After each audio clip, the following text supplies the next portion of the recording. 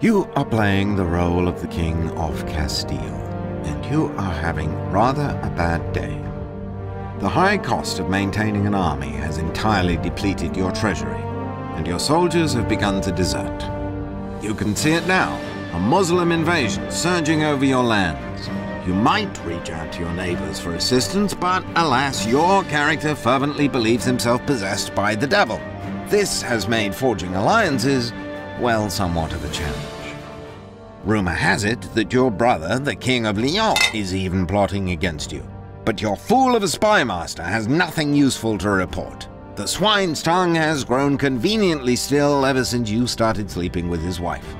As the year draws to a close, you find yourself friendless, penniless, possessed, and entirely in the dark, with the Moors sharpening their weapons on your borders. In a word, doomed. Or are you?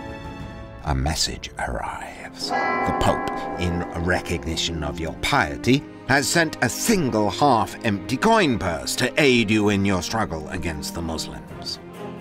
With the ink still wet on your gracious response, you make excellent use of the funds, sending an assassin to call upon the King of León, your dear brother. This will destroy your reputation, of course, or rather it would do were you already known to be under the devil's sway. Demonic possession does have its perks. The assassination succeeds, and not only have you escaped your brother's mysterious plot, but as his elder you inherit all of León, along with his far more competent spymaster. Your brother's army is now your own, are soon marching south, striking preemptively against your good Muslim neighbors, with your former spymaster on the front lines, of course. And this is just one cunning ploy in Crusader Kings 2, a grand strategy game which offers an entire continent's worth of political intrigue.